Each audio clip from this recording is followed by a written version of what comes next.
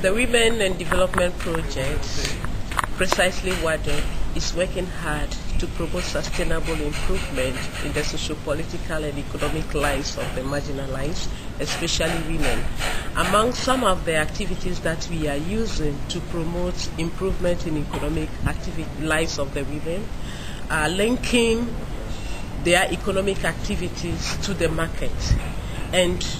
what we are doing to achieve this is supporting them with our stakeholders to improve the produce that they send to the market and also helping them to identify high demand markets so that the supplies could go there. And then thirdly getting market information which is disseminated to the people